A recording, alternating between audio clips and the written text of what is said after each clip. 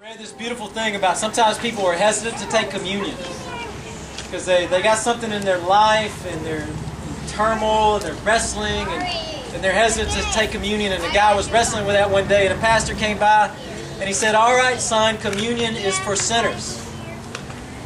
Baptism is for sinners. If you wait till you're not a sinner to get in the water, you never get here.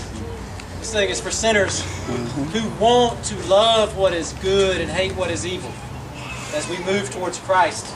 This is just one step on that journey. Beautiful to see you guys take this journey.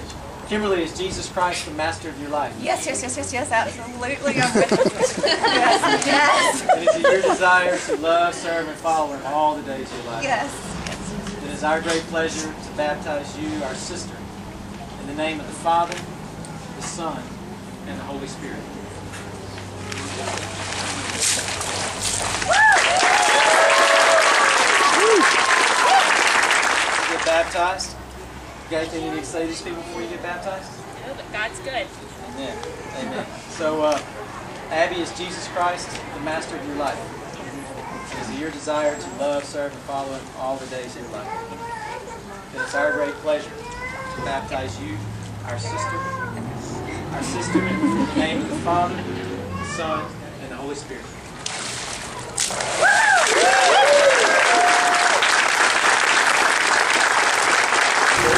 Anything you need to say, Tim? Um, yeah, I just wanted to let everybody know that this is not my first time, but it's it's the time that that means something. So that's all. Tammy is Jesus Christ, the master of your life. Yes, it your desire to love, serve, and follow Him all the days of your life. absolutely. It is our great pleasure, our sister, to baptize you in the name of the Father, the Son, and the Holy Spirit.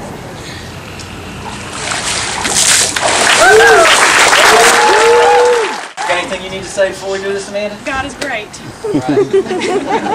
Amanda is, uh, is Jesus Christ, the master of your life. Absolutely. It is your desire to love, serve, and follow Him all the days of your life. Absolutely.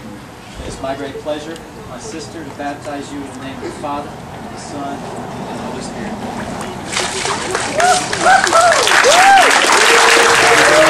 Folks, Thank you, God, for your grace and mercy. Amen. Amen. Matt is Jesus Christ, the master of your life.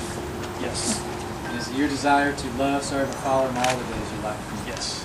It's our great pleasure, our brother, to baptize you in the name of the Father, the Son, and the Holy Spirit.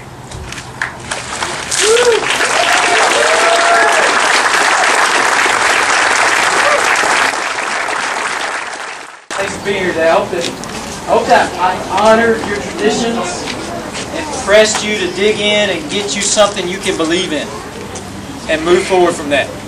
Because I honor all traditions that hold Jesus Christ up as Lord and say that baptism is important, regardless of how they do it. Don't care. But it is important that we be those people that follow and take a stand. And I love the fact that we do it in a cow trough on Main Street, because that's the way it was done originally. You guys have a great week.